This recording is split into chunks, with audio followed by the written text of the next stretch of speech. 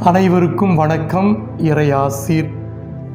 இந்த பதிவானது தூய தமத்திருத்துவ பங்கு கோல்டன் ஜார்ஜ் நகருக்காக தரப்படுகின்றது.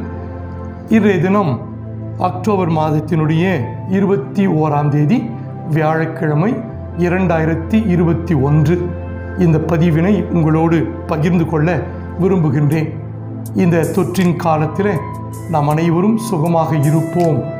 பாதுகாக பாதுகாப்பாக இருப்போம் என்ற நம்பிக்கையோடு உங்கள் மகிழ்ச்சியோடு பேசிக்கொண்டிருக்கிறேன் நம்முடைய தமிழக அரசுக்கு நம்முடைய நன்றி. ஏனென்றால் இப்பொழுது வெள்ளி சனி ஞாயிற்றுக்கிழமைகளிலும் நம்முடைய திருவழிபாடுகளை நடத்துவதற்கான அனுமதியை தந்திருக்கின்றார்கள். இதை நாம் நல்ல முறையில் பயன்படுத்தி கொள்வோம். இந்த தொற்று காலத்தில் எப்பொழுதும் கவனமாக இருப்போம். அரசினுடைய வழிகாட்டுதல்களை சிறப்பாக நாம் பின்பற்றி நமக்கும் பாதுகாப்பு தருவோம். மற்றவர்களுக்கும் பாதுகாப்பு தரும்படியாக அன்போடு கேட்டுக்கொள்கின்றேன். நிறைய பேர் அறிந்திருப்போம். ஏற்கனவே நான் நம்முடைய ஆலயத்திலே கூட சொல்லி இருக்கின்றேன் இரண்டாயிரத்தி இருபத்தி மூன்றாம் ஆண்டு ஆயர்களுடைய உலக ஆயர்களுடைய மாமன்றமானது வத்திக்கானிலே நடைபெறவிருக்கின்றது. அதற்கான தயாரிப்புகளை இப்பொழுதே அகில உலக திருச்சபையிலே ஆரம்பமாகின்றன.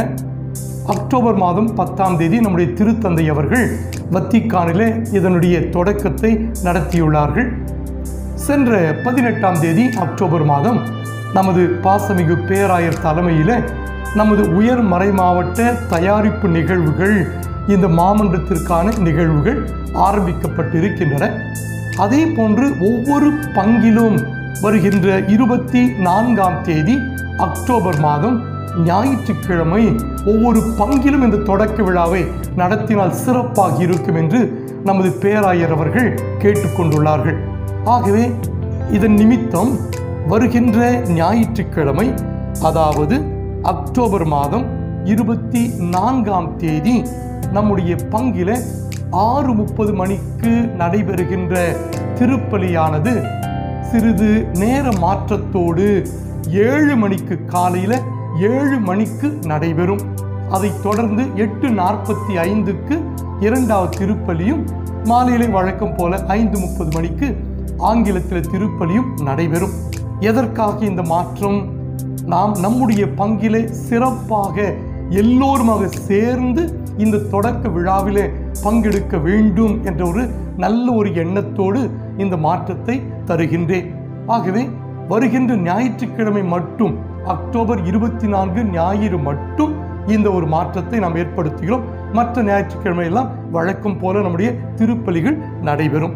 இந்த வாரம் வருகின்ற வாரம் இருபத்தி நான்காம் தேதி ஏழு மணிக்கு ஆரம்பிக்கின்ற திருப்பலியாவது ஏறக்குறைய ஒரு எட்டு பதினைந்திற்கு முடிக்கும் என்று வைத்துக் கொள்வோம் அதற்கு அடுத்ததாக முதல் திருப்பலிக்கு வருகின்றவர்களும் தயவு செய்து இங்கே இருந்து எட்டு நாற்பத்தி ஐந்துக்கு நாம் எட்டரை மணிக்கெல்லாம் நாம் நம்முடைய தயாரிப்புகள்லாம் முடித்து தயாராகி இருப்போம்.